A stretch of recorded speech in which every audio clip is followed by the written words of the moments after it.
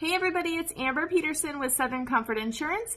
This month I wanted to bring a little tip for anyone who's traveling during spring break. It's finally March and we're getting a little bit better weather, so um, kids are going to be out of school, going, maybe some families go on vacation. So make sure you double, double check your homeowner policy that it does have theft protection in there.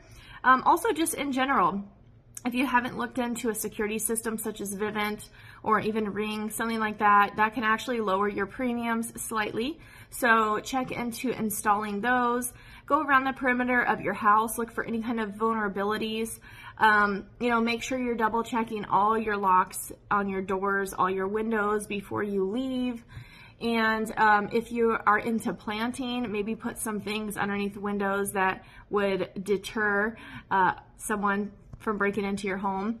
And those are just some tips and tricks. And um, I hope that everybody is enjoying this beautiful weather. And if you need anything at all, please don't hesitate to call 520-508-9662 or you can email me at southerncomfortinsurance at gmail.com. Again, it's Amber Peterson, Southern Comfort Insurance, honest, reliable, and consistent service that you can depend on. Have a great day. Bye.